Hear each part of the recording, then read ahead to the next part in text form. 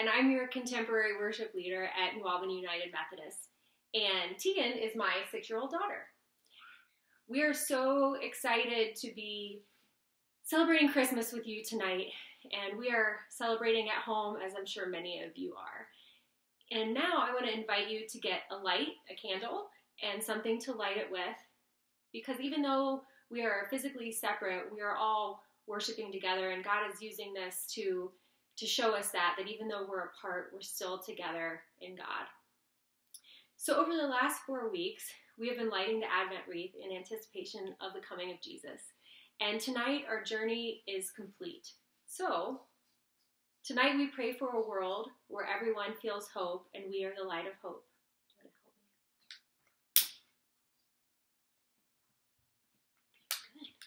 We pray for a world where everyone is loved and we will be the light of love. Come on, love. We pray for a world where everyone experiences joy and we will be the light of joy Um, Mom, why is that so light? because our love is huge. That's a love candle. And we pray for a world of peace and we will be the light of peace. Help me through this? We gotta be careful. And finally, our waiting is over. So it's time to celebrate Jesus' birth. So we're all gonna light the Christ candle. Do you wanna help me light the Christ candle? This one. It's the white candle. Ready? You gonna help me? Lighting the Christ candle. We've been waiting all this time. And now we get to say, Happy birthday, Jesus. Happy birthday. Jesus. Merry Christmas.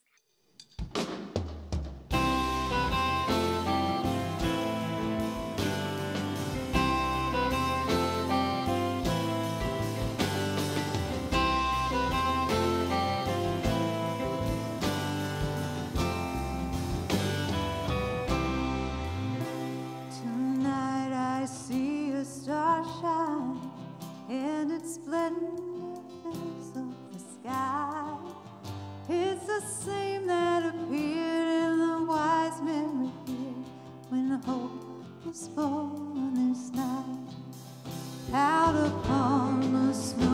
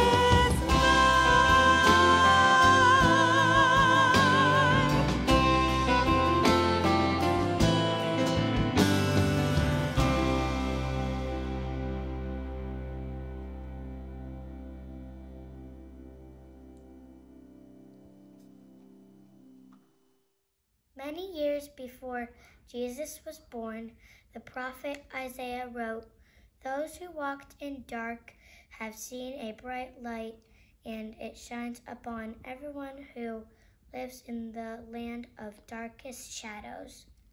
A child has been born for us. We will have been given a son who will be our ruler. His names will be Wonderful Advisor and Mighty God, Eternal Father and Prince of Peace. His power will never end. Peace will last forever. He will rule David's kingdom and make it grow strong. He will always rule with honesty and justice. The Lord all powerful will make certain that all of this is done.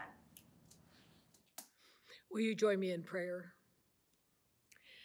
Dear God, we pause in the midst of the excitement and the busyness of Christmas season to thank you for coming as a baby to the poorest of Bethlehem, placed in a manger for a bed, to come to rescue us from sin and to offer us salvation. This is beyond our understanding. Please fill us with the joy of a child so we may focus on this ultimate gift tonight. You know how tired we are from the anxiety of the COVID virus and the stress of economics and the longing of seeing our families and friends in person. Forgive us for putting our selfish desires in the center of our lives. Show us again the beauty of this holy night. Open our eyes to realize this, this each day as we interact with others. Show us creative ways to love and to continue to care for our neighbors. Fill us to overflowing with your love and peace and joy and hope so that we can be your light in the darkness to others throughout the year. Our comfort is knowing you are the Prince of Peace and the light of the world, guaranteeing a future of peace. Amen. Hear the Christmas story from chapter 1 Luke, verses 26 through 38. God sent the angel Gabriel to the town of Nazareth in Galilee with a message for a virgin named Mary. She was engaged to Joseph from the family of King David. The angel greeted Mary and said, You are truly blessed. The Lord is with you. Mary was confused by the angel's words and wondered what they meant. Then the angel told Mary, Don't be afraid. God is pleased with you, and you will have a son. His name will be Jesus. He will be great and will be called the Son of God Most High. The Lord God will make him king, as his ancestor David was. He will rule the people of Israel forever, and his kingdom will never end. Mary asked the angel, How can this happen? I am not married. The angel answered, The Holy Spirit will come down to you, and God's power will come over you. So your child will be called the Holy Son of God. Your relative Elizabeth is also going to have a son. Even though she's old, no one thought she could ever have a baby. But in the three months she will have a son. Nothing is impossible for God. Mary said, I am the Lord's servant. Let it happen as you have said. And the angel left her. Hello, kids. This is Christmas Eve.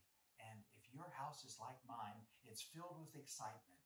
And our church family is filled with excitement too because we're here to celebrate Jesus' birth. And thank you, families, for helping us tell the story of Jesus coming into the world, a light that conquers the darkness. And so, uh, when we're really thankful to God and we're really happy that Jesus has come, we remember him by making uh, an offering, just like the wise men did at the manger gold, frankincense, and myrrh. So we give our pennies, nickels, dimes, and quarters. Our parents make contributions online or mailing a check to the church, and we keep our church strong. So let's have a prayer, and we're just going to thank God for Jesus. Oh Lord, we just thank you for you giving us your Son, and He is the light of our lives, and He brings joy to the world, and we thank you for that. And we know that some little children don't have enough to even eat or maybe good houses or enough clothes. And so we want to help them too and help us to be extra generous to help the children that don't have as much as we do on this Christmas. So thank you, and thank you for being the light that conquers the darkness. And we pray in Jesus' name on his birthday.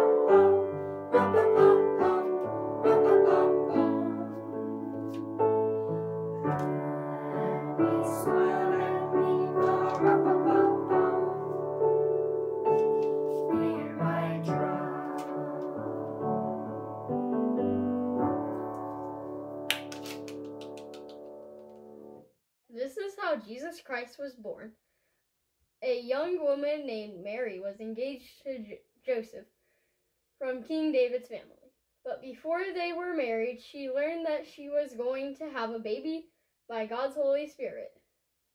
Joseph was a good man and did not want to embarrass Mary in front of everyone, so he decided to quietly call off the wedding. While Joseph was thinking about this, an angel from the Lord came to him in a dream. The angel said, Joseph, the baby that Mary will have is from the Holy Spirit. Go ahead and marry her. Then, after her baby is born, name, name him Jesus, because he will save his people from their sins. So the Lord's promise came true, just as the prophet had said. A virgin will have a baby boy, and he will be called Emmanuel, which means God is with us. After Joseph woke up, he and Mary were soon married, just as the Lord's angels had told him to do.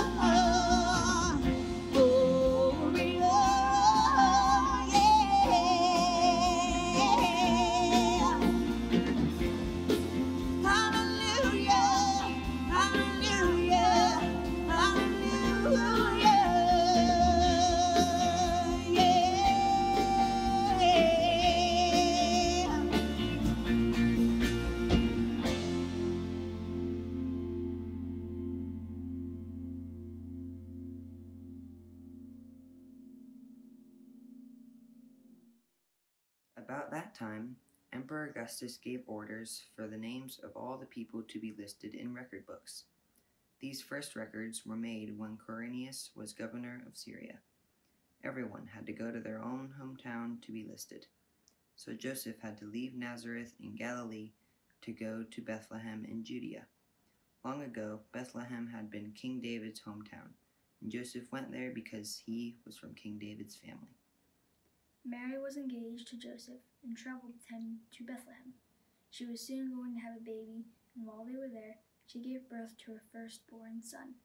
She dressed him in baby clothes and laid him on a bed of hay, because there was no room for them in the inn.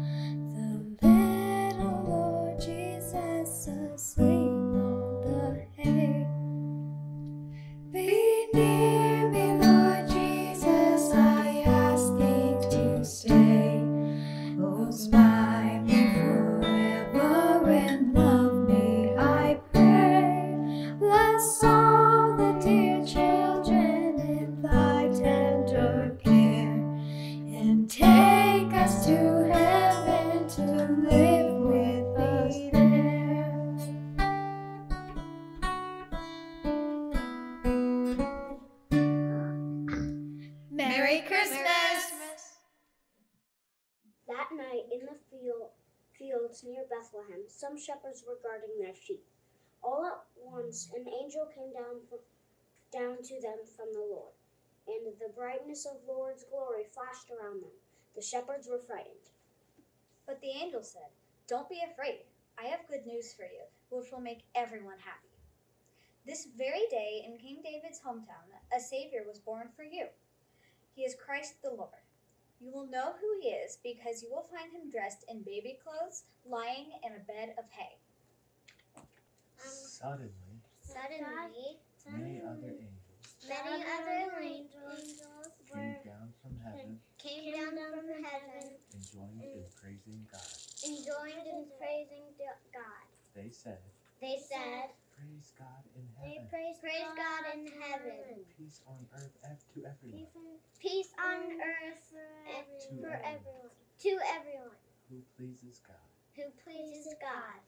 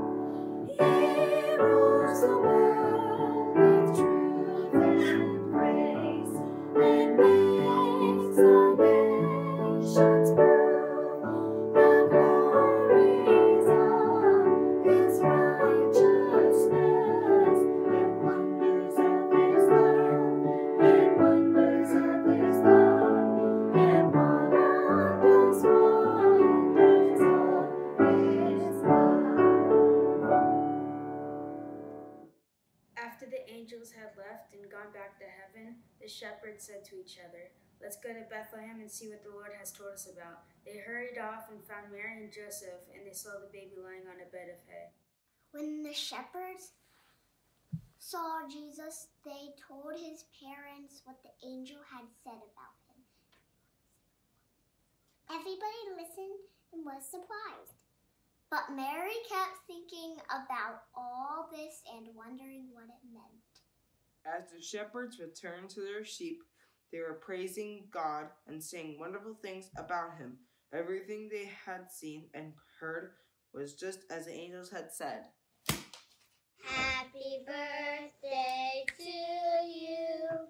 Happy birthday to you. Happy birthday,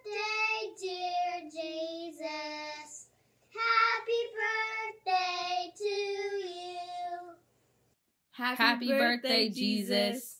Happy birthday, Jesus. We love you. Happy birthday, Jesus. Happy birthday, Jesus.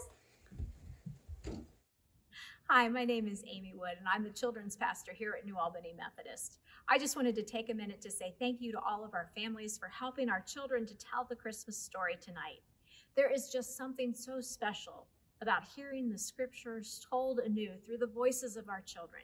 So thank you, thank you, thank you for sharing them with us, for sharing their joy with us. Will you pray with me? Oh God, as we come to the manger tonight, we pray that you will open our eyes to see the babe, our Lord Jesus, that you will open our ears to hear the good news proclaimed, and that you will open our hearts to receive Christ anew. Amen. One of the things that brings me a lot of joy during this Christmas season are the lights. When our oldest son was born, he was about a month old when it got to be Christmas time, and he was just mesmerized by the lights on the tree. He would stare at them forever. And it and lights have never been the same for me since. Every time I see them, I think of the wonder and the joy in his eyes. But it got me to wondering, why is it that we put lights on our trees? Where does that come from? Well, there was a tradition a long time ago where people would put candles on their trees as a sign and a remembrance of Christ, the light of the world. Now, it's a good thing we don't do candles anymore because that can be kind of dangerous. So, it's a good thing that we have electricity, but the lights still remind us that Christ's light shines and he is the light of the world that came at Christmas. And I am so thankful for that reminder this year. I don't know about you, but I couldn't wait to put up my Christmas tree and my decorations. It seemed like as the days got shorter and the news got scarier, that it just felt as if the darkness was pushing in. I just felt like I needed something that would help to lift my spirit, something that would help me to push back on the darkness. I needed some light. Because let's be honest, it's been a hard year for everyone. And we're still in the midst of a time like none that we've lived through before. We have uncertainty in so many parts of our lives in school, in our homes, at work, in our families, our health, our communities. It can just feel like it's too much. It can feel like everywhere we look, there's darkness. And when we look in darkness, it's scary. It's unsettling. We can't see clearly, and it's as if everything loses its color. You know, children often go through a time when they're afraid of the dark. And if we're honest, sometimes we as adults feel the same way. We feel scared, unsettled.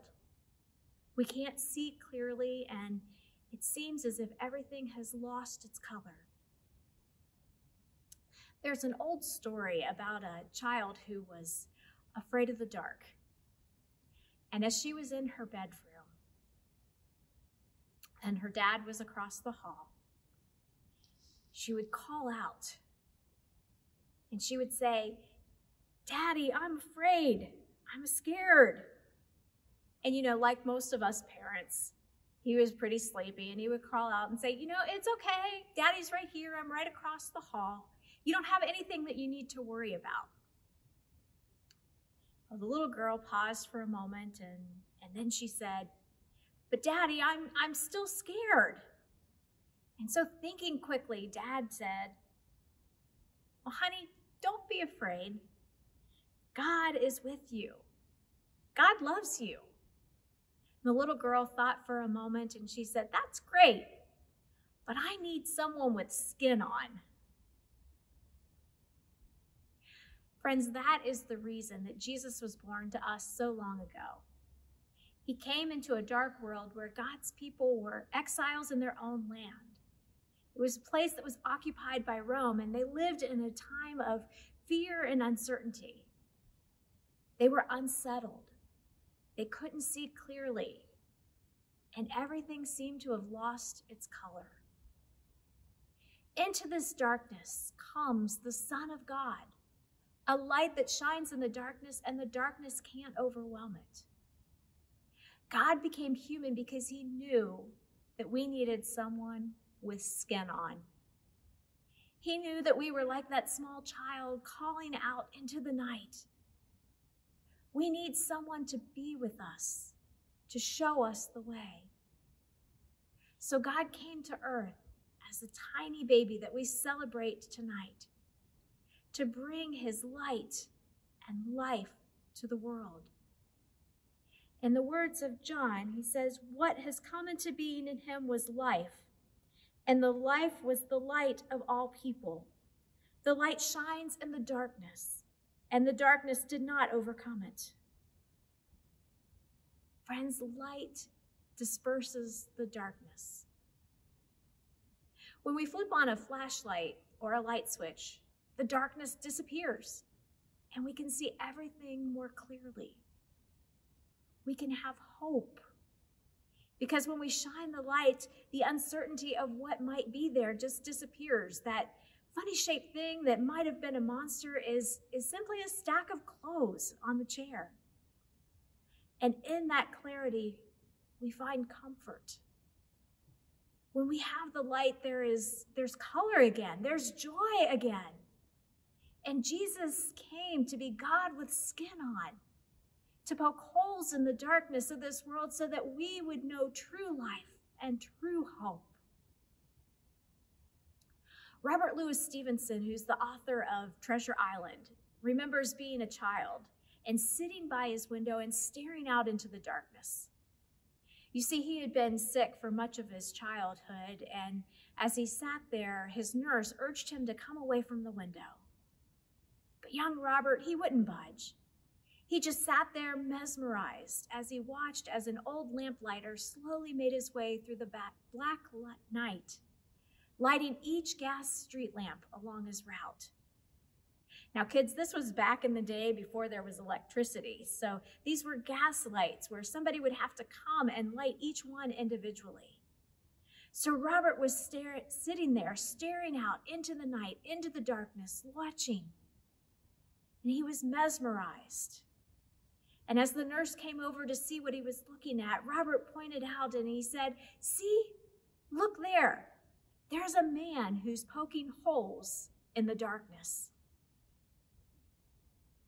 That is just what Jesus came to do to poke holes in the darkness so that we could live in the light.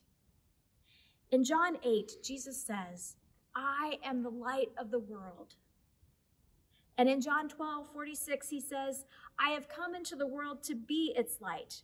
So no one who believes in me will stay in darkness. Friends, we don't have to stay in darkness anymore. The light of Christ has come to push back the darkness so that we can find true life. Jesus came as a tiny baby to shine a light into our darkness, to walk with us to bring us hope and joy and peace and love.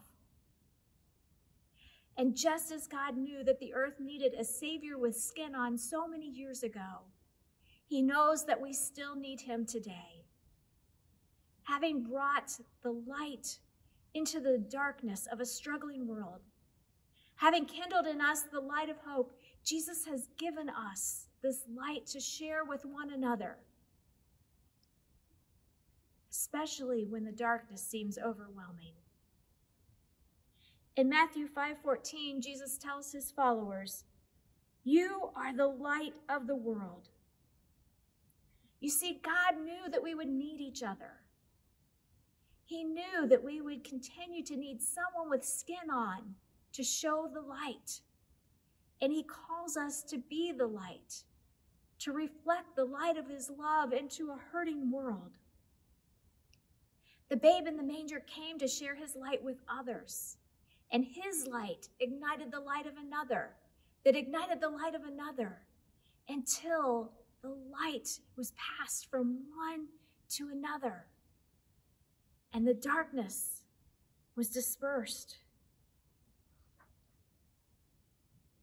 The bright light of Christ shines.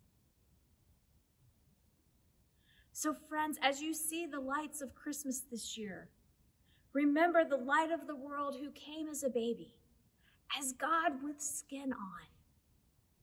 For he came to punch holes in the darkness so that even in times of uncertainty such as this, for such a time as this, he came so that we could know that there is hope, that there is peace, that there is joy, and there is love. And that gift is for you and for me. For in the words of the prophet Isaiah, the people who have walked in darkness have seen a great light. Those living in a land of deep darkness, on them a light has shined. Thanks be to God for the coming of the light that dispels the darkness and gives us true hope and peace. Let us pray. O oh, great light of the world, shine on us. You came so that we would know true life and hope, so that we might see you, God, ever more clearly. Poke holes in the darkest places of our lives and of our world. Help us to see your light, to be filled with it and to reflect your light for others.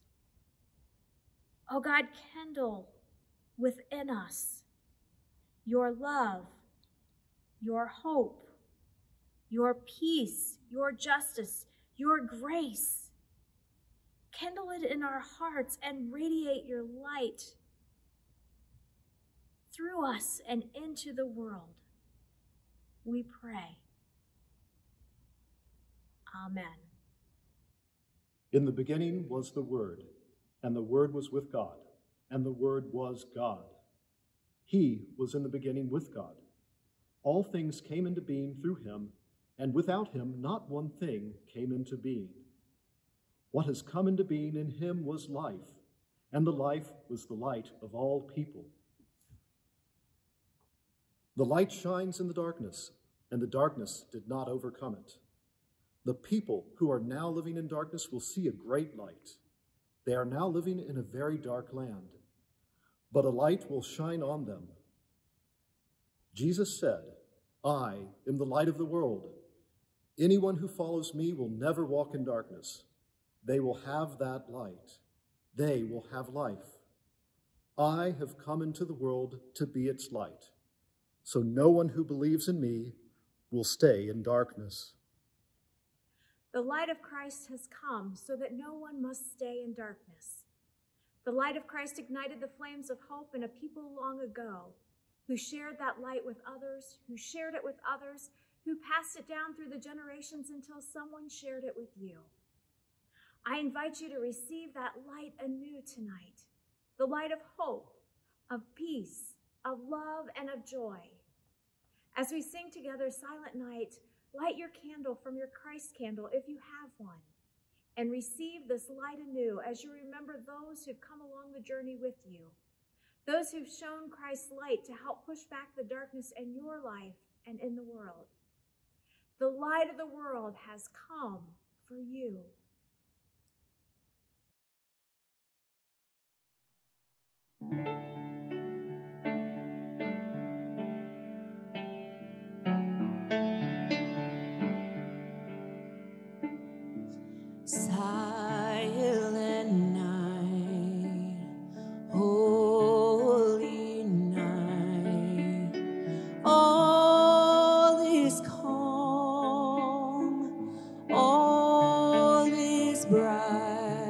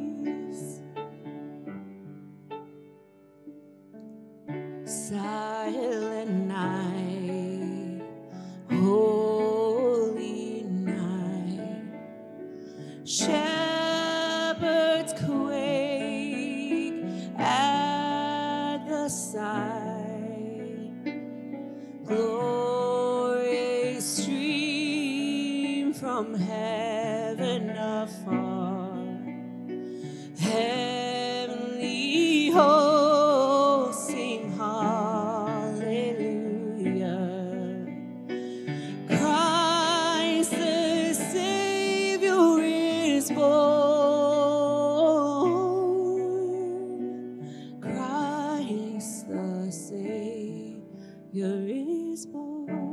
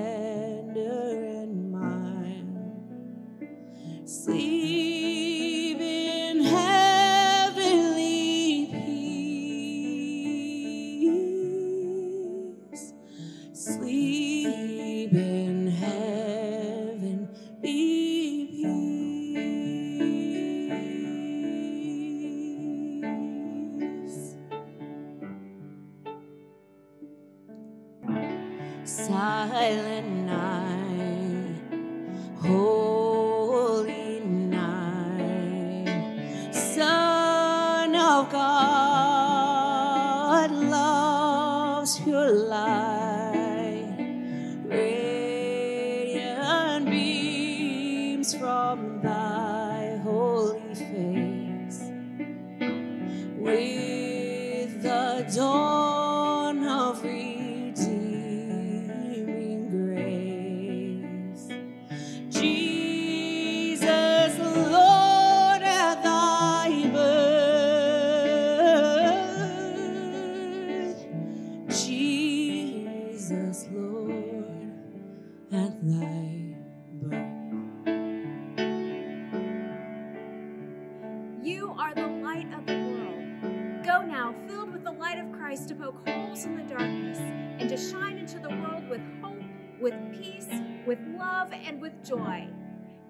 bless you. Merry Christmas.